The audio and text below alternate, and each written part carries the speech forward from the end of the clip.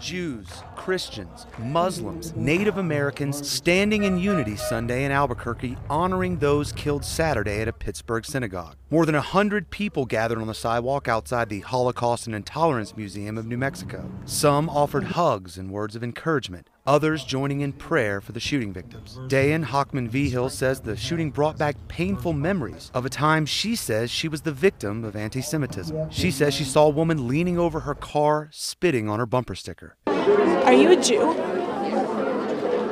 You look like a Jew. Vigil says it left her utterly devastated and ultimately inspired her to run for state office. I could either succumb to that experience and the fear, the abject helplessness and fear that I felt, because I had never been threatened before in my own country, in my own hometown, or I could fight against it. Through all the prayers and tears, there was also a call to action the call to continue fighting against hate and we have to fight that. We have to we have to stand up. These people here came to say we're not going to be defeated. Activist Sami Assad says people must stand together as Americans, celebrate diversity, and fight against those who try to divide this country. My hope is to have more dialogue, more open conversations about where to take the country in the future.